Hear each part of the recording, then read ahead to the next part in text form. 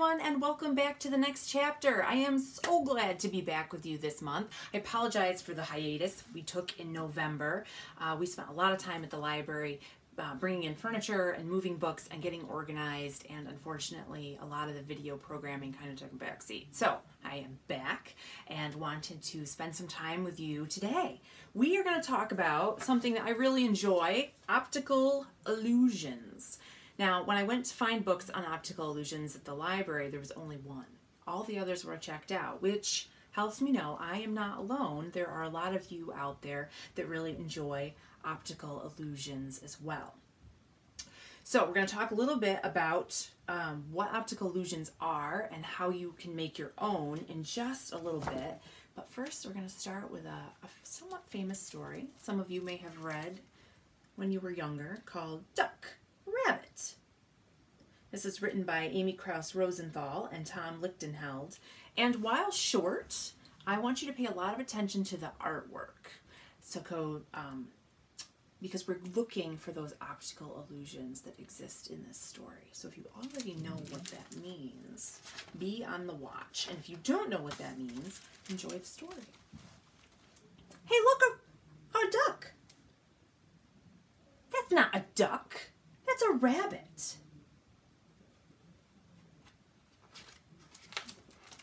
Are you kidding me? It is totally a duck. It is for sure a rabbit. See? There's his bill. What are you talking about? Those are his ears, silly. It's a duck, and he's about to eat a piece of bread. Do you see it? I see it, right? Looks like a duck eating a piece of bread. I think it's a duck. No, it's a rabbit, and he's about to eat a carrot. Do you see that? I think I was wrong. Now I think it's a rabbit. Wait, listen. Did you hear that? I heard duck sounds. Quack. That's funny, because I distinctly heard rabbit sounds. Sniff, sniff. Now the duck is wading through the swamp. No, the rabbit is hiding in the grass.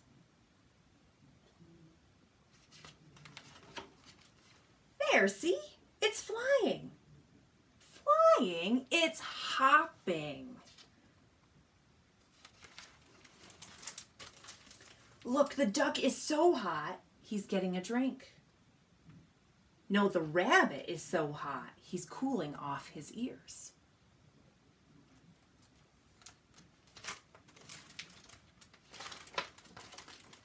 Here, look at the duck through my binoculars. Sorry, it's still a rabbit. Here, ducky ducky. Here, you cute little rabbit. Come on, cute little rabbit. Oh, great. You scared him away. I didn't scare him away. You scared him away. You know, maybe you were right. Maybe it was a rabbit. The thing is, now I'm actually thinking it was a duck.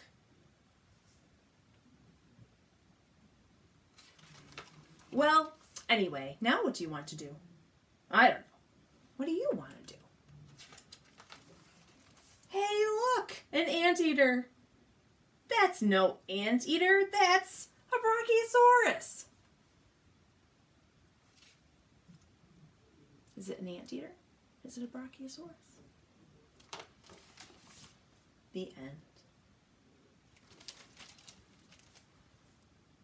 Is it a duck or is it a rabbit? That's what optical illusions are all about, right? Tricking our eye. It could be a duck. It could also be a rabbit. I can see a duck and I can see a rabbit. So what is an optical illusion? We read our story. We saw some ducks. We saw some rabbits. An optical illusion is something that looks one way, but is actually something else. And I looked up the official definition for us. So, an optical illusion is an illusion caused by the visual system and characterized by a visual percept that arguably appears to differ from reality. Wow, did you understand that? I had to read it several times. So, an optical illusion is an illusion. What is an illusion? Something that is not true, right? Something that appears one way but is actually something else. It's an illusion, often talked about in terms of magic shows or with magicians. Um, if you've read Harry Potter, he has an invisibility cloak that turns him invisible. But it's just an illusion, right? He's still there. He's still in the room. He's still a physical body. If you bumped into him, you would bump into him. It's just an illusion. So, an optical illusion is an illusion caused by the visual system. So, a visual system is our eyes. Optics, also meaning eyes and light, right? It's the way that our eyes and our light and light entering our eyes interprets information. and it appears to differ from reality. So, what we're seeing, an illusion entering our eyes, looks different from reality. So, like in our book, it's hard to tell. It's is is it a rabbit? Is it a duck? It could be either. In this book's case, Optical Magic, um, the illusion here, when I look at this, this looks like it's moving. I don't know how well that's going to come through the camera lens, but when I look at this, all these lines are kind of moving toward the middle and spinning. But is the book actually moving? No, not at all, right? It's just it's just there. It's a hard book, but it looks like it's spinning, and that's part of what creates the optical illusion. Years ago, there was a very famous drawing done that was the inspiration for our picture book. in this classic illustration, do you see a rabbit facing right or do you see a duck facing left? I'm going to move it way up here for the camera. So once again, do you see a duck or do you see a rabbit? If at any point when I'm sharing these optical illusions, you want to pause the video so you can look at them a little longer or up close, uh, feel free to do that. Is it a duck? Is it a rabbit? the very first optical illusion that I actually remember seeing is this one. Is it an old lady or a young woman? What do you see? You see an old lady with a hawk nose and a covering over her hair? Or do you see a young lady with a necklace? Is it an old woman or a young lady? This was when I first realized I really enjoyed optical illusions. I like the way they play with your mind. A lot of optical illusions are based on lines or geometry. So if you flip through the book, you'll see a lot that look like this, that are different line patterns. And when you look at them up close, they do different things. Some of them swirl towards the middle. Some of them appear to shift. Some of them actually create other shapes, kind of tricking your mind into other shapes. So you may not be able to enjoy these as well through the video camera, but feel free to come borrow Optical Magic or uh, some of the other optical illusion books from the library and spend some time with them because they're really, really fun, especially some of the line um, designs that I think would be easier to enjoy in person. So we are actually going to draw our own optical illusion today. So I'm going to have you get some supplies. I'm going to tell you what you need. And then if you need to pause this video and go gather your supplies, feel free to do that. You're gonna need a little bit of a workspace. So let me move some of my things. You're going to need a ruler. You're going to need a writing utensil, a pen or a pencil is fine. I'm gonna use a Sharpie just so that you guys can see my drawing a little bit better. And you're gonna need just a plain piece of white scrap paper it, you're only going to need one side. So if you just find a coloring page or something you've already used, that's absolutely fine. So those three things, all right, and pause the video and go grab them. And I'll meet you right back here. Okay, are you all set? Paper, ruler, pen. So the first thing we are going to do is we are going to measure four inches on our ruler. So we've got one, two, three, four inches. All right, and unfortunately, you guys are not going to be able to see what I'm drawing. It's kind of below your eyesight, but I will hold it up to show you. So we are going to draw one four inch line right in the middle of the paper.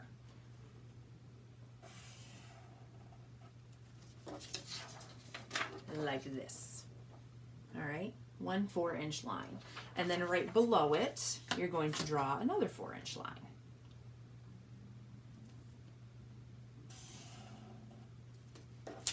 So that you have two.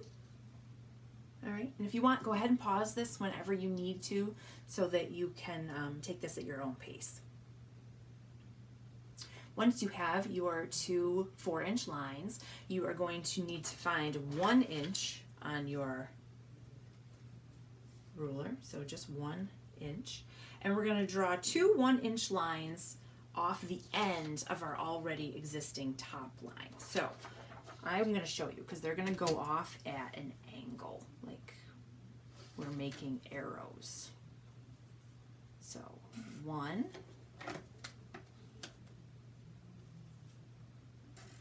two. So one inch, now we have an arrow, and then we're going to do the same thing on the other end.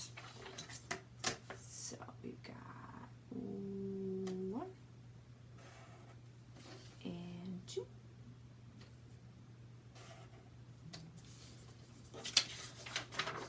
What do you think? All right. So you have an arrow pointing away on each end. And then we're going to draw arrows pointing um, out on the other end. So, for example, you're going to need that same one inch ruler, mark. And we're going to go out and make a tail. Like this. All right? So sort of like a V that's touching, a sideways V that's touching your line. All right, and then you're gonna do the same thing on the other side. You're gonna use your one inch mark on your ruler, and you're gonna draw two lines out, like a V. Like this. So you should have one line on top with the arrows pointing out, and one line on the bottom with your arrows pointing in. Okay, so here is the trick question, right? Which one of these is longer?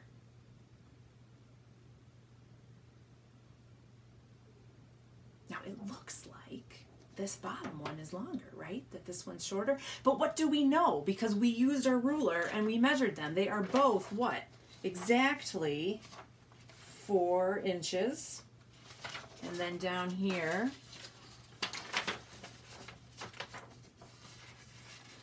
four inches. Those lines are exactly the same. And we know that because we drew them, right?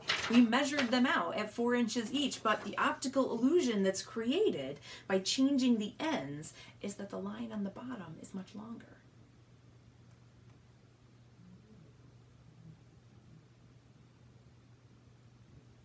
You just created your own optical illusion.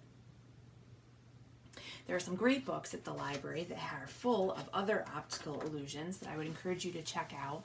Another one of my favorites is something called a thaumatrope, and you it's a round circle, and on one side there's a cage, and on the other side there's a bird, and you put it on a stick, and then you rub it between your hands. This is an easy one to find guides for online, parents. And as you spin it, it will look like the bird is in the cage because your eye is not as quick as the spinning of the thaumatrope.